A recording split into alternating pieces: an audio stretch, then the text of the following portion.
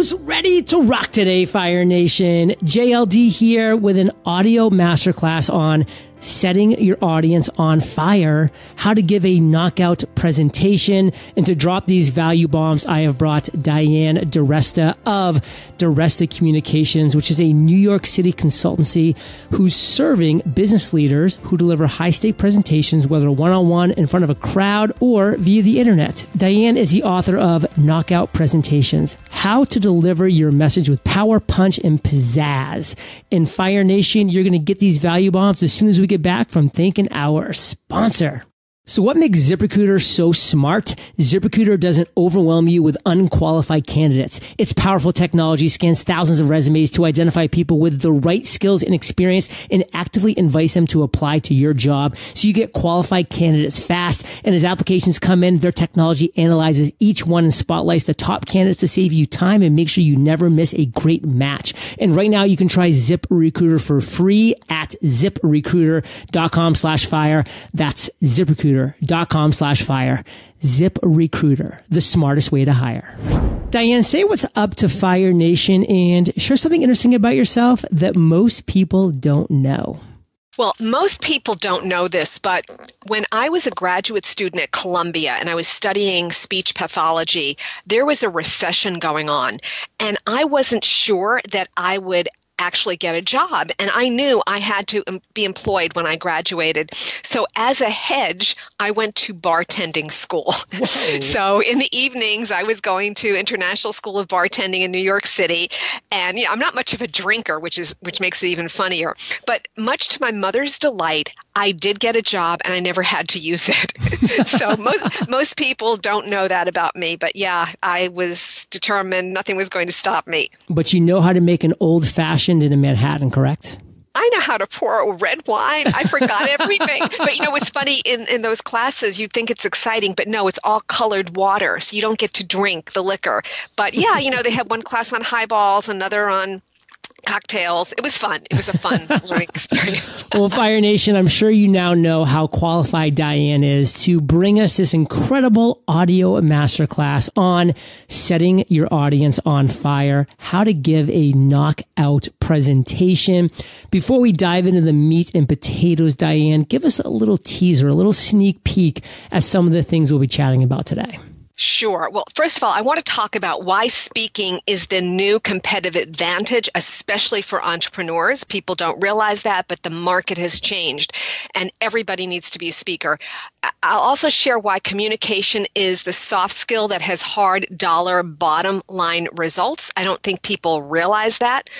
And then why is speaking one of the most powerful and cost effective marketing strategies? I don't think people leverage that enough. And then what are the mistakes that speakers make when they're selling on the platform, especially? Wow. Well, I can tell you, I want to know about all of those things. So I'm not going to waste any more time, Fire Nation. We have Diane. She is here. She is on the mic. So break it down for us. Why the heck is speaking not the old, but the new competitive advantage for entrepreneurs? All right, because in the past, I'm talking 20 years ago, we were a very hierarchical society. And you, know, you had all these reporting relationships. You didn't have the same competition. So it was very easy to delegate speaking to somebody else on your team. Today, that's not the case. With social media and so much transparency, people want to know who you are. They want to hear from you, the CEO, the founder. And the, you are the brand as the CEO. So it's really important for you to be able to speak because speaking is what's going to get that message out. It's one of the top branding skills that you can have. And if you don't have this skill, you're going to be at a real disadvantage. So, Fire Nation, this is one thing that I definitely recognize very early on in my mm-hmm. career. Mm-hmm. 2012, I had just launched my podcast. I didn't really know what I was doing. Yet Cliff Ravenscraft, my mentor, was running the presentation track on podcasting at an event called New Media Expo in Las Vegas. Somebody dropped out last minute and he reached out and said, John, I know you just launched. I know you just started. I know you've never given a presentation before. but can you fill in for me last minute? And mm-hmm. I was mm-hmm. terrified. I was scared, but I knew that was an opportunity, Diane, that I had to take because it was going to position me as an authority figure and an influencer in the podcast niche back in 2012 when there just wasn't that many people that were influencers, authority figures in that niche. So I jumped in. I said yes, but man, I wish I could go back in time, listen to this presentation that you're about to deliver to us before I gave my presentation because I made a lot of mistakes because it's just, man, there's just so much that goes into an effective knockout presentation. So let's talk about communication and mm-hmm. why it's a sought skill that also has a hard dollar bottom line result. What does that even mean? Well, I'm going to take a different position. I say it's not a soft skill, and this is what drives me crazy. This is my pet peeve because most of my business has been serving corporations and entrepreneurs, but also big corporations. And so when you go in, they'll say, well, you're a soft skill. You know, we need to put our money toward hard skills, the technology, the finance, the systems. And I, I want to tell them that in the absence of communication, there can be no business think of one thing in your business that doesn't rely on communication. And so it has a really hard dollar result. And speaking is not one of those airy fairy skills. When you do it well, it actually brings in dollars. You know that better than anybody because I think you post your your revenues up there. But let me tell you a story so that people think I don't think I'm talking off the sure. top of my head. I was working with a CEO of a pharma company. He wanted to convince the executive committee to fund the building of a vaccine facility. Now, this would cost initially $300 million in investments. And there was no guarantee of success. And then there'd be three years of clinical trials after that. And so obviously, this was a very high stakes presentation. So what he did is he hired me to coach him. And I won't tell you all the, the details, but end result is he got the funding and that initial $300 million turned into a $1 billion success.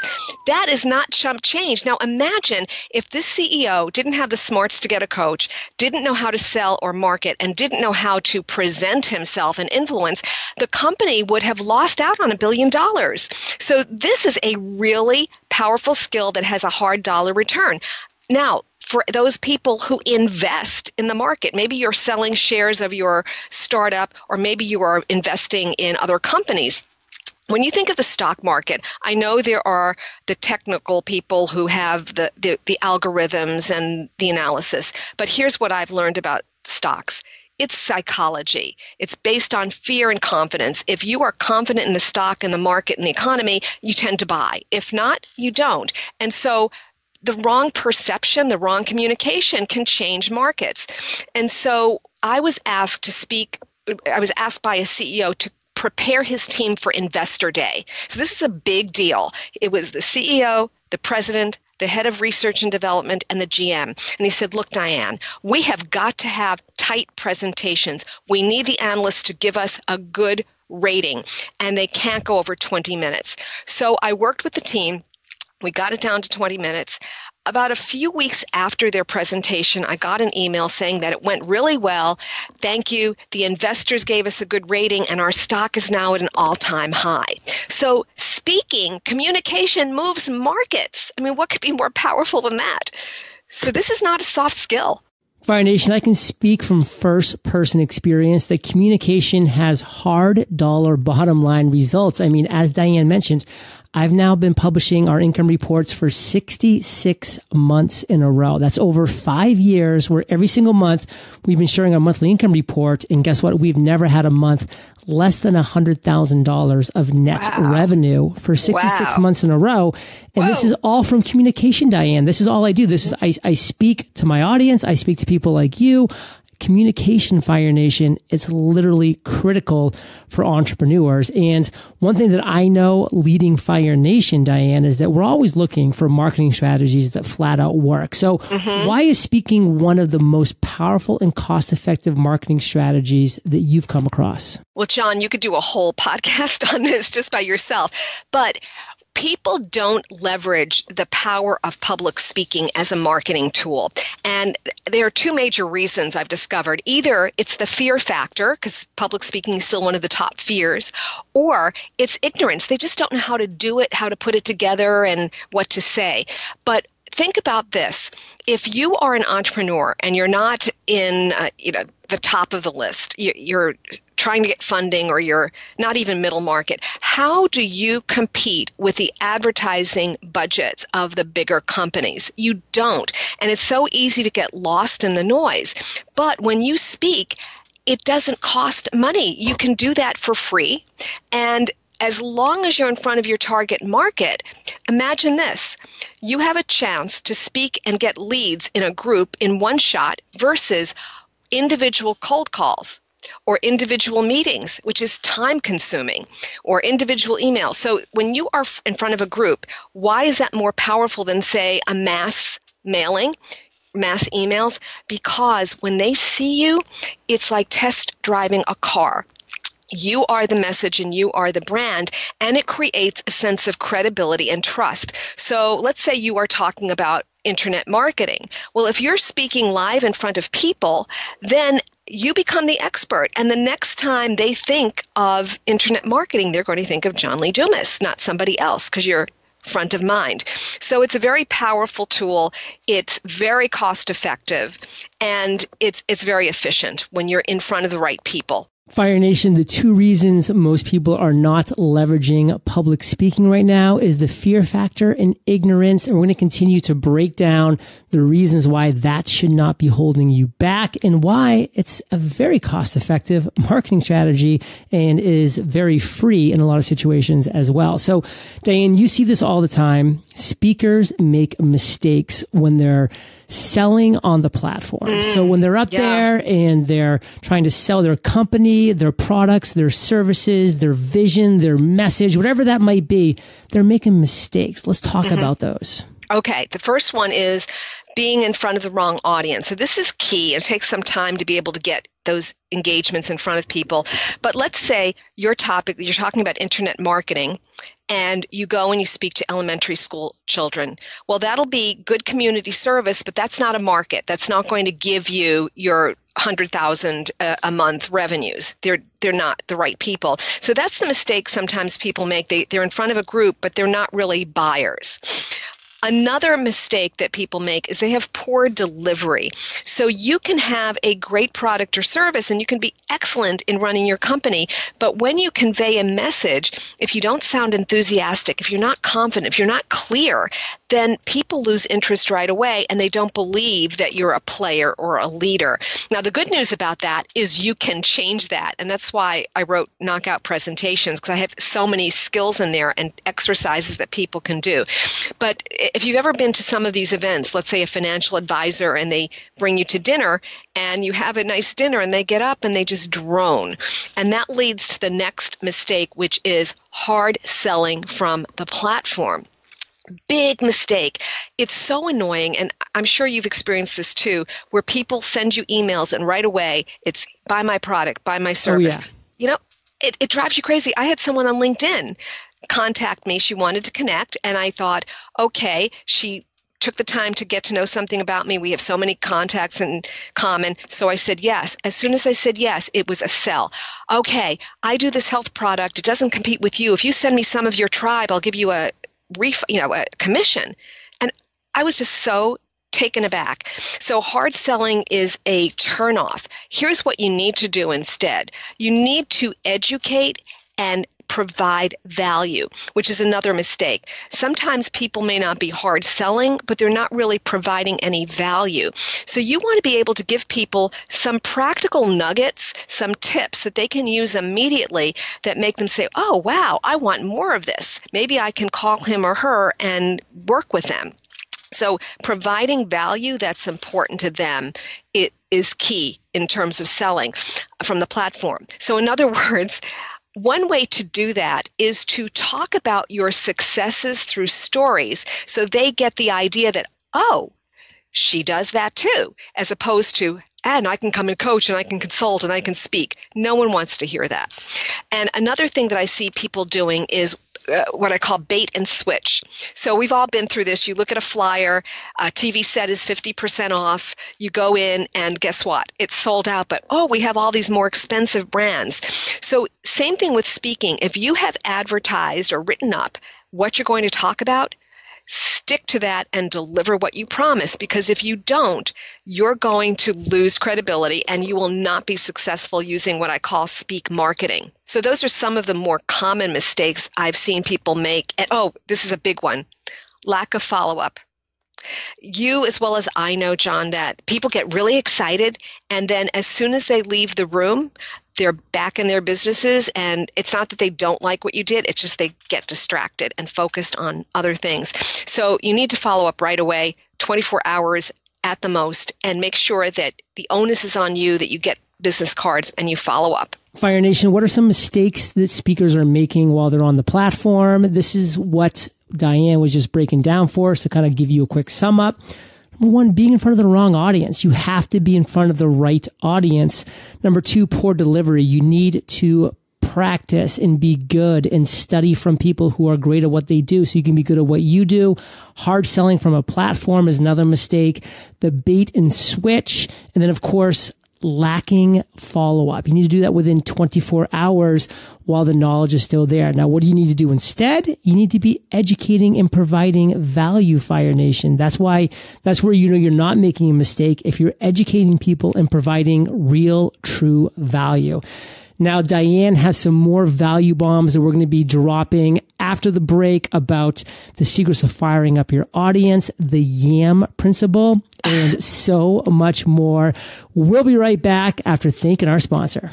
As entrepreneurs, we face a variety of challenges every single day. But one of the biggest challenges I hear about from other entrepreneurs on a daily basis, and one that I face while growing my own business, is finding the right candidates to hire. Luckily, ZipRecruiter makes it easy. You'll see exactly what I mean if you visit ziprecruiter.com slash fire. To start, ZipRecruiter sends your job to over 100 of the web's leading job boards, which saves you a ton of time, but they don't stop there. Next, ZipRecruiter's powerful technology scans thousands of resumes to identify people with the right skills and experience and actively invites them to apply to your job so you get qualified candidates fast. ZipRecruiter is so effective that 80% of employers who post on ZipRecruiter get a quality candidate through the site within the first day. And right now you can try ZipRecruiter for free at ziprecruiter.com slash fire. That's ziprecruiter.com slash fire. ZipRecruiter.com slash fire. ZipRecruiter, the smartest way to hire. So Diane, we're back and I teased Fire Nation before the break about a few things. And I want to dive into something that I know that I try to do when I get on stage because it's super important, firing up your audience. What's the secret to that? Well, it's first of all being fired up yourself. You you can't go in there unless your energy is high. So whatever you have to do to get that, and then you want to engage them. So as soon as you can, get them involved in your message. You know, there are some people that clap on stage and ask people to follow their clap. So right away they're with you. Or sometimes you might do an exercise, get someone to raise their hand and and do something of that nature. But anything that you can do to get people excited telling a story that's interesting or uh, telling uh, some startling statistic any of those things can get people fired up. But it's really about the dream at the end of the day. You know it's about wow if i do all that then i can have that too. So making people believe in the possibility of their greatness. Fire Nation, be fired up yourself. How can you expect people in the audience to be fired up and excited about the content that you're delivering if you're not first?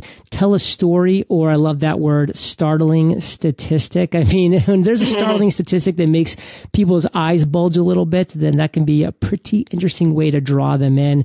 And something else that I am really a big fan of, and I, I really only see experienced presenters doing well is embracing silence. I can tell you mm-hmm. what, every mm-hmm. now and then, if you stop talking and just look around for a second, you're going to see people that are on their phones on Instagram and Facebook. They're going to look up and be like, what, what's going on? They're going to get dialed back into your presentation if you use silence effectively. So, Diane, let's talk about the YAM principle. That's Y A M. What is that? Well, I like to start sometimes with a quiz, a brain teaser, and I'll say to people, How is public speaking like a yam?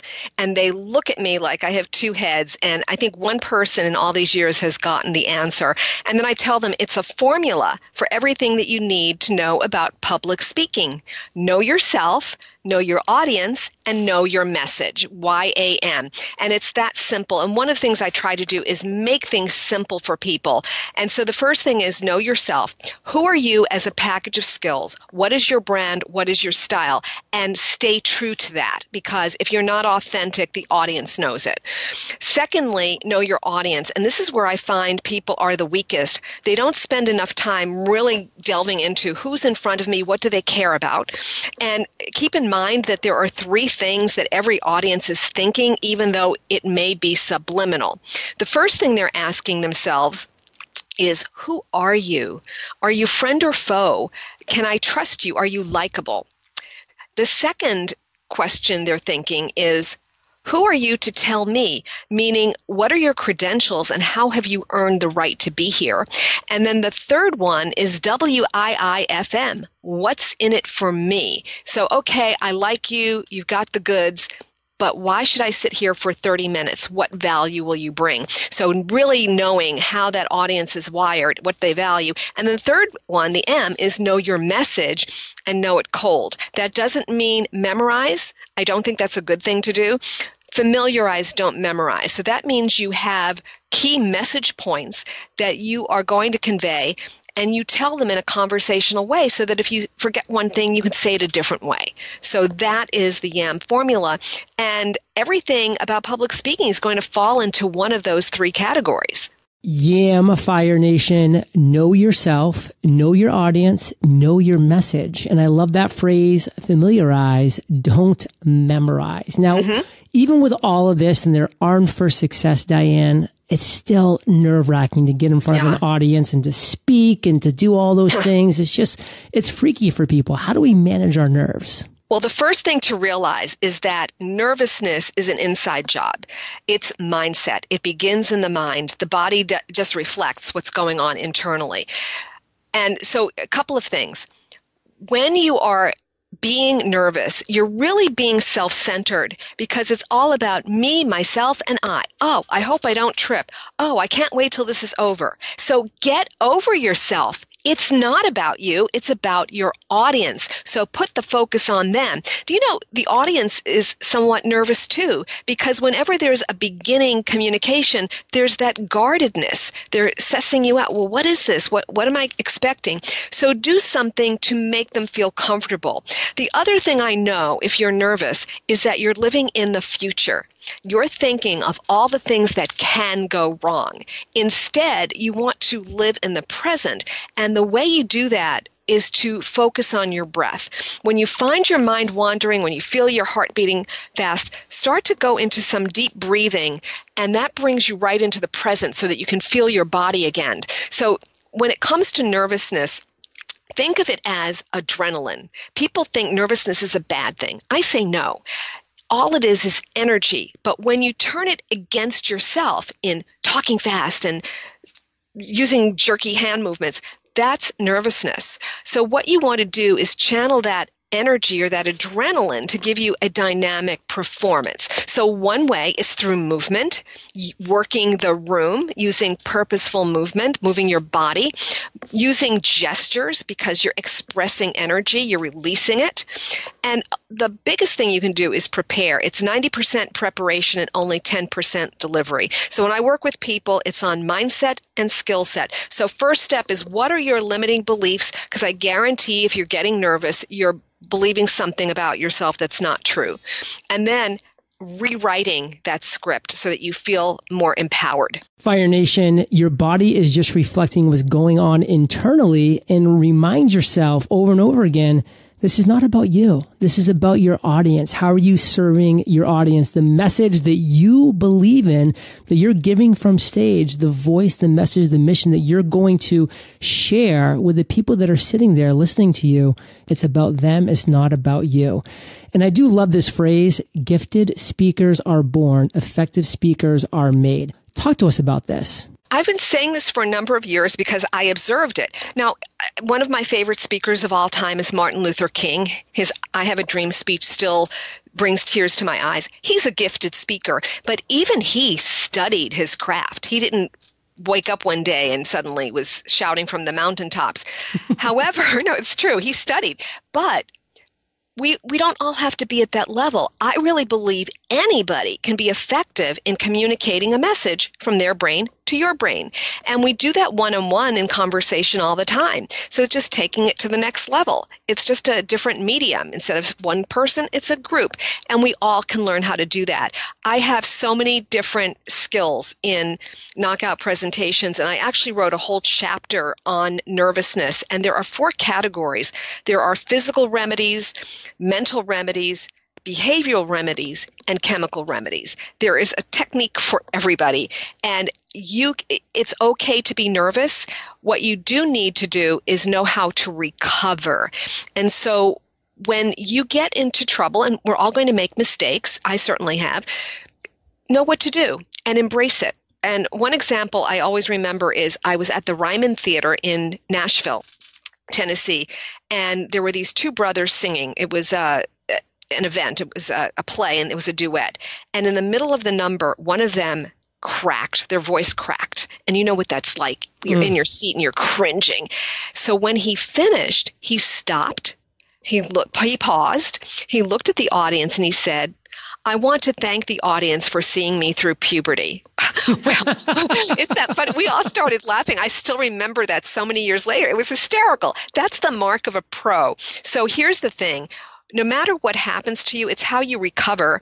And so people will really respect you when you show that kind of leadership and that kind of confidence. So don't ignore it, embrace it, make fun of it, include it. Just remember, Fire Nation, people are rooting for you. They want you mm-hmm. to crush it up there. They mm-hmm. want you to deliver them real value. And no matter where you are as a speaker right now, Fire Nation, you can become an effective speaker and Diane's book, How to Give a Knockout Presentation, is going to be a great tool in your toolkit to help you do just that. So, Diane, that being said, give us one big takeaway that you want to make sure Fire Nation really gets from this entire masterclass that you gave us, and then share the best place that we can find your book, How to Give a Knockout Presentation if you get nothing else, realize that speaking is the new competitive advantage. It is a business skill. And to know that anybody can be effective, it is a quote soft skill that has hard bottom line results. It will put money in your pocket. So you want to be able to get this. You can get knockout presentations on Amazon or go into your Barnes and Noble or retail store. You can also go to my website, diresta.com, D as in David, I R E S as in Sam, T as in Thomas A dot com, DiResta.com. And there is a free audio course for you there. It's seven emails and it's seven mistakes, seven deadly mistakes speakers make and how to avoid them for maximum success. So I invite you to take part in that free audio course. Fire Nation, you're the average of the five people you spend the most time with, and you have been hanging out with DD in mm-hmm. JLD today. So keep up the heat. And of course, head over to eofire.com. If you type Diane in our search bar, her show notes page will pop up with everything that we've been talking about today, links to her book, to her websites, to those free gifts that she was talking about. It'll all be right there for you. Faux show. And Diane, thank you for sharing your genius with Fire Nation today. For that, we salute you and we'll catch you on the flip side. Thank you, John. Hey, Fire Nation. Hope you enjoyed today's value bombs from Diane DiResta. And I hope you're ready to accomplish your one big goal. If you are, just visit thefreedomjournal.com and in 100 days, you'll accomplish your number one goal. Period. End of story. Boom. JLD guarantee. Uh, visit thefreedomjournal.com. Use promo code podcast for a nice little discount. And thank you for listening to the podcast. And I will catch you there, Fire Nation, or I'll catch you on the flip side. You know what makes ZipRecruiter so smart? ZipRecruiter doesn't wait for the right candidates to find you. It finds them. First, ZipRecruiter sends your job to over 100 of the web's leading job boards. Then its powerful technology scans thousands of resumes to identify people with the right skills and experience and actively invites them to apply to your job. So you get qualified candidates fast. And right now you can try ZipRecruiter for free at ziprecruiter.com slash fire. That's zip ziprecruiter.com slash fire. ZipRecruiter, the smartest way to hire.